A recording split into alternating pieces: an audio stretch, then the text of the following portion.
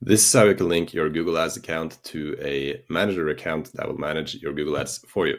So it is a really simple process. The only thing you need to do is to log into your Google Ads account and up in the right hand corner, you'll find this number right here, which you will need to send to the person that is requesting to manage your account for you. And that person has a manager account. What he will do, I will go over to my manager account. He will click on accounts. And in here, he will click on the plus button there and link existing account and then just enter the number that you sent him. There we go and click on send request. And now you will receive an email which says that you have a manager account that is requesting access to your Google Ads account.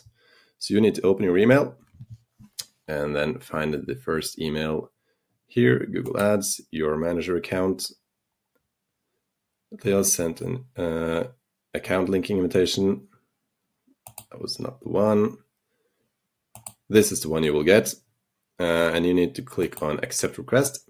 And once Google Ads has loaded, you need, just need to click on accept and you are good to go. Now he can manage your Google Ads account. All you need to do is just have set up with a credit card that you want to use for Google Ads and he will do all the Google Ads for you. Now, if you want us to do Google Ads for you, please make sure to click the link in the description and I'll see you in the next video.